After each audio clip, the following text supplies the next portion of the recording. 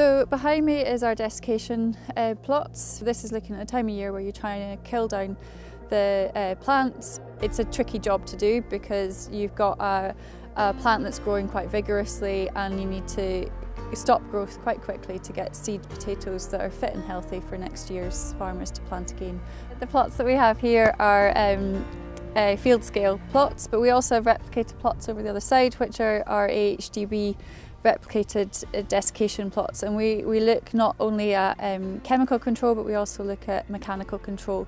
The desiccation part of the seed pro process has a, a, quite a big uh, influence on the following season's crop.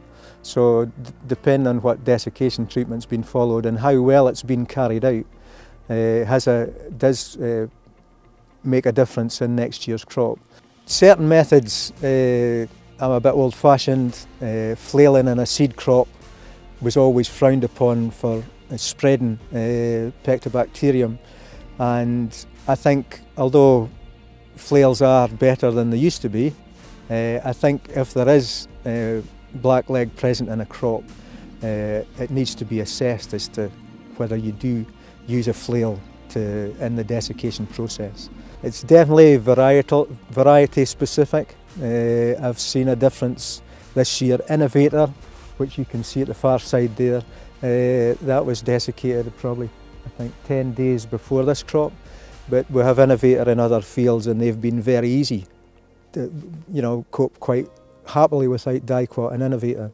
But the daisy that's at the other end there, I must admit that I was a bit nervous last week when I was putting on the T3, but thankfully it's, uh, it's worked. These are all the AHDB replicated trials. Uh, that's all done by hand. I think these trials are really important that uh, we look at all the different treatments in a, a replicated form like this that uh, then we know gives us an idea how we move on to the field scale trials that we do ourselves.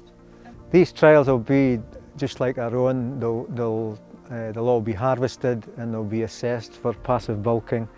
Obviously for seed growers we're, we're interested in uh, stopping them as quickly as we can uh, because we have this seed fraction uh, generally 50 or 55 mil top riddle uh, so it's important that we get the timing right when we're uh, when we're giving them their first treatment. I think there's a lot of innovative uh, treatments here. There's a that we see saw a huge difference in the pelargonic acid this year, just because we actually mechanically tilted the crop so that the pelargonic acid was going on the underside of the leaf rather than the top of the leaf.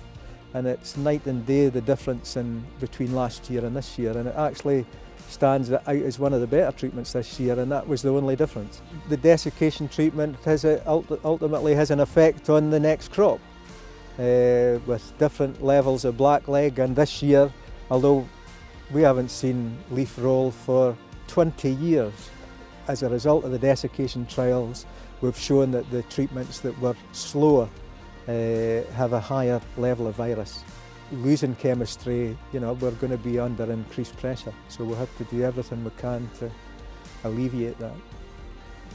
Personally, uh, if we can do it without a flail, it definitely speeds up harvest. I think on our soil types, and I emphasise that, it's, uh, we've, there's clay in our soils, uh, where the flail has been, then it compacts the side of the rows and creates clods. I think we've shown this year that while we've, we've got regrowth in four of the flailed green treatments. So we used car carfentrazone as a, as a T1 and uh, left flailing it green seems to give the plant the wrong message. It's given it a growth spurt uh, rather than a chemical treatment that's actually shutting the, telling the plant to shut down to start senescing.